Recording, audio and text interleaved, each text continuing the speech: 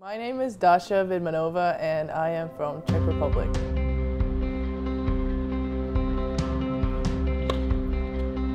So I was born in Moscow, Russia, and I started playing tennis around when I was around five years old um, because my older brother he was playing tennis and then uh, I would travel with him and my parents to like tennis tournaments and then I would just like hit the ball sometimes and I guess my parents decided um, that they want me to try tennis too. I played a lot of international tournaments when I was when I was playing juniors, but the biggest ones were probably the junior grand slams. So I played Australian Open, uh, which was probably my favorite one because I did the best there and uh, I played a really great match there. It was like a three hour long match. It was a really big crowd and I ended up winning like in the third set and the tiebreak.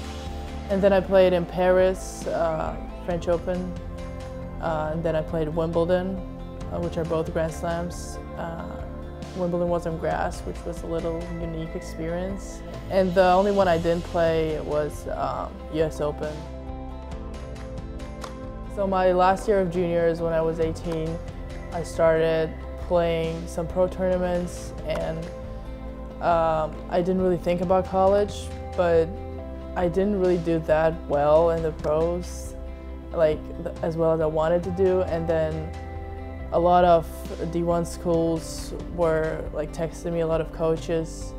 And so I decided to like give it a try and then decided to take visits. I chose Georgia.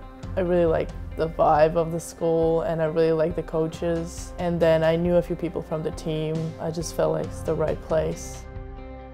So I came in January, which is right before like the main season starts. Um, and I didn't really know like what to expect because my whole life I played tennis for my like just for myself individually, and playing like for the team is definitely a totally different experience because like you play next to your teammates, you can talk to them, you support each other. It was definitely more fun and personally I enjoyed much more because like my last year of juniors I was a little bit like not tired of tennis, but it got just so much like in the routine. And when I came to college, I just kind of felt like happy playing tennis again because it was so much more fun and like traveling as a team, like next to each other. Um, and also um, the crowd that is here in Athens, it's always like makes it just so much more like you will fight until the end no matter what because you know that like you're not only playing for yourself but you're playing for the people you practice with you all like fight for each other my favorite memory was when in our last season we played in the University of Florida we played the SEC tournament it was semifinal against Tennessee and my match was last match on so it was three all so if I win, we would obviously win. And I was winning the whole time. It was like set, 5-4 up, and I had 40 love on my serve. And then I started cramping, like really badly. Like I couldn't move. My legs were like so stiff, I couldn't serve. So I lost that game. I could like barely walk. So I just like looked at the side and all of them were just standing there supporting me so much.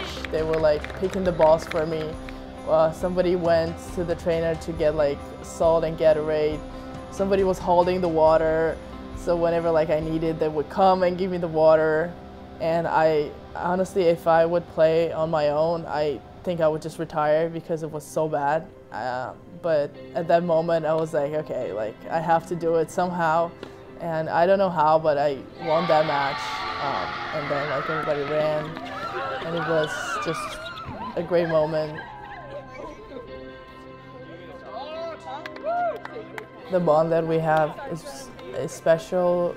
We have a lot of international people on the team, and I did know a few people before coming, but I feel like just during the season when you, because we are together like all the time, when we're in the se in season, we travel together, we live together, and obviously playing with each other, playing next to each other, it like makes you connect to your teammates so much because like you win together, you lose together, and you go during the season. It's like six months that you go through so much together.